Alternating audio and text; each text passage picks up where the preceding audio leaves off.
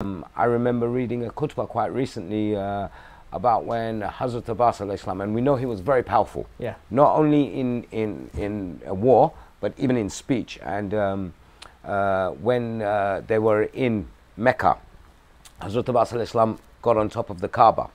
Um, and I clarified with some sheikhs and well-learned scholars if this khutbah was actually real. One of the things he says in, in the khutbah, he goes, this house only has value because my father, no, because his father, look how Hazrat Abbas speaks, look at the respect level. He doesn't say my father, he says his father, uh, refer, referring to Imam Hussein al-Islam. His father was born in it. That was the power of his speech.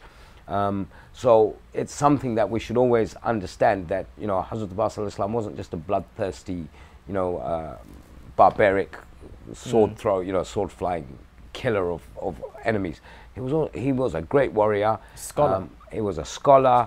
He, he, I'm sure, had there been a time where he would have had to answer the que- a question, he would have done it just as well as any imam would have, and that was something that we don't give him credit for.